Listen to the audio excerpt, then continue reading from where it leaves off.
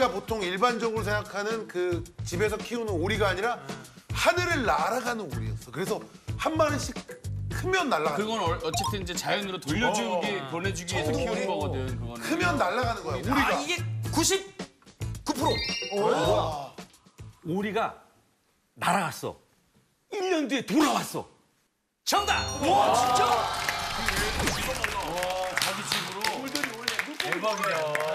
우리 만나고 철새. 그냥 오리가 아니라. 그러니까 집오리가 아니라 성동오리였던 거지. 왜냐면 짐승들한테 잡혀 먹 어, 잡아 먹히면 이게 뭔가 흔적이 있어야 돼. 흔적도 없고. 예. 완전히 오리만 싹 깨끗하게 사라진 거야. 그래서 얘네들이 어디 갔을까 하고 그냥 잊고 살았어. 그래. 살았는데 이듬해 그 근처에 오리들이 한 50마리 정도가 확 날아와서 이렇게 지네끼리 판을 치고 놀고 있는 거야. 야, 나중에 자식 우리 새끼들한테 야 내가 여기서 컸어.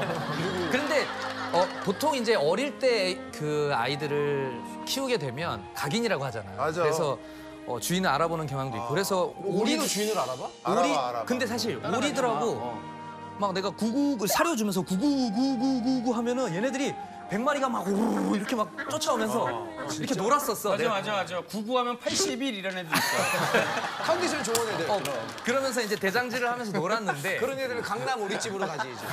근데 오리들한테 그때 한번 해봤어. 내가 맞는지. 구구구구 하니까 오더라고 이렇게. 우리 지어서. 답이 아버지가 날았어야 재밌긴 한 건데. 아버지가 나갔다가 1년 후에 다시 돌아온 거 있잖아. 우리 50발이나 같이 이렇게 어, 딱 해가지고. 근데 모르는 엄마. 어떻게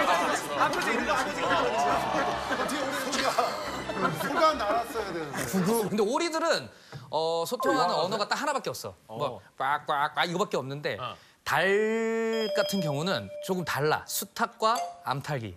왜냐? 야 수탉, 암탉, 영탉 다 진짜 그러네. 수탉, 암탉, 영탉 잘 맞는 이유가 있네. 수탉은 아침에 이제 기상을 알려야 되잖아. 그리고 그 권위가 딱 갖고 있는 그 가장의 무게. 울수 있어. 그치 그치. 그 놈만 울 수 있는 거야.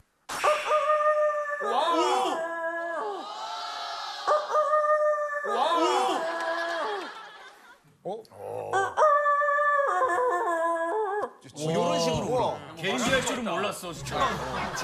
진짜 내가 들어본 닭 소리보다 더 닭 같아. 그지? 약간 다 비슷하지. 얘 두성을 써야 되거든. 그 다음에 암탉 같은 경우는 알을 낳았을 때 많이 울어.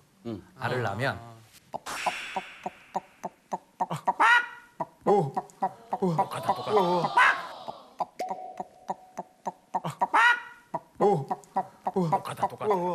그때는 이제 알 낳았다는 거야. 이게 암탉이구나. 그러면 가서 가서 이제 알을 가지고 와서 어, 계란 달걀 후라이를 해 먹고 막 그런 경우들이 있었지. 영탁은 어떻게 울어요? 영탁? 영탁은 어떻게 울어?